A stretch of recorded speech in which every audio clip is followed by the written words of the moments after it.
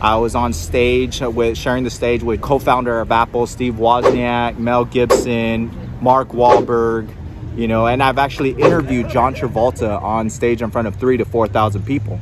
You know, I've done so much over the years, but why is it that I don't feel like I've actually accomplished or do I feel good about all those things, you know?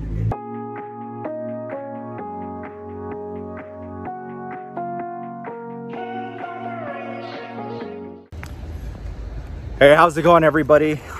So, one thing I want to bring up was I had a problem. Uh, it's been going on for the past 10 years, and I've been gaining so much weight. I've probably gained over 100 pounds over the past 10 years, and and that's really a problem. I've tried. I've tried everything to lose it. I've tried dieting. I've tried the whole working out thing. I've done all that, but for some odd reason, I couldn't just stick with it. Uh, you know, I lost a lot of confidence. I lost a lot of uh, you know, focused. I lost a lot of energy.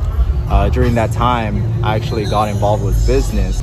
And, you know, I've done a lot of things. And I've done direct sales, affiliate marketing, network marketing, done some good stuff there. You know, I've actually been coached by the world's number one wealth and business coach. I've I was on stage with sharing the stage with, you know, the co-founder of Apple, Steve Wozniak, Mel Gibson, Mark Wahlberg, you know and i've actually interviewed john travolta on stage in front of three to four thousand people.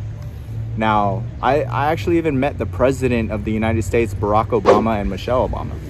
You know i've done so much over the years but why is it that i don't feel like i've actually accomplished or do i feel good about all those things you know?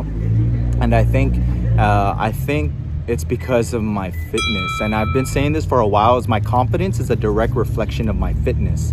You know october 1st 2020 is the i made the most in my entire life. I weighed the most in my entire life uh, 290 pounds.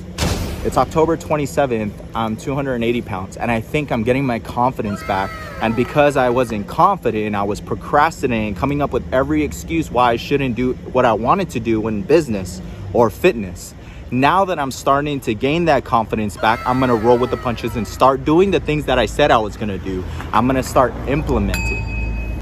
Moving forward is you're gonna get that mindset, that confidence, that that the journey, the journey of what it what it's really going to take to actually make it as an entrepreneur, as or just someone who wants to you know change their life for the better for their health and fitness. So I appreciate y'all. Uh, if you want to follow the journey, make sure you subscribe, hit the bell and uh, you know follow the journey and i'm definitely excited to share that with you. Um, give some value to y'all and uh, hope to see you along the journey. Peace